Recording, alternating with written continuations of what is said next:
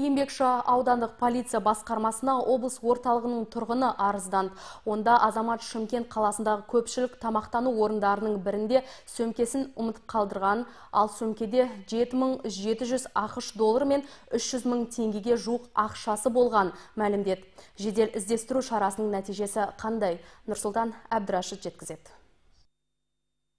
Оңай олжаға Шымкенттің 45 жастағы тұрғыны ие болыпта. 1971 жылғы азамат жұмыссыз екен. Полицейлер қомақты қаражат тауып алған. Оны әбден тергеп, күдіктіден ешқайда кетпеу туралы қолхат алады. Қазір сотқа дейінгі тергеу амалдары жүргізілуде.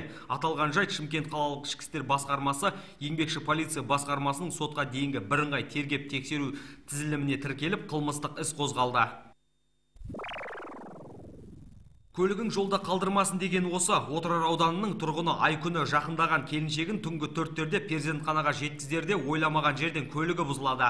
Ал кішкентай шарана әне міне жарық дүние есігін ашуға жақын тұр. Көмекке әбүйір болғанда учаскелік полицейлер келіпті. Сөйтіп аяғы ауыр келіншекті аудандық ішкі істер басқармасының полиция капитаны нұрлыбай тасыбаев пен сынақтан өтуші полицей жасұлан пірімжанов сәтті босандырып алады. Жаңа туылған нәрестеге раяна деп ат қойылады. Ал бақыттана қиын қысталғанда жол тапқан тәртіп сақшыларына алғыс жаудырды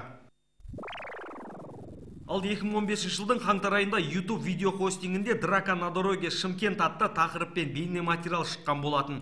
Қоғамдық көлік жүргізушілері мен кондукторлары арасындағы бұл жанжал Гагарина және Жиделі Байсын көшелерінің қиылысында орын алған.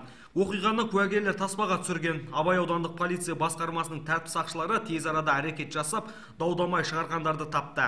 Қоғамдық орында тәртіп бұзғандар үстінен Қазақстан Республикасының қылмыстық кодексінің 293 бабы бойынша қылмыстық іс қозғалды.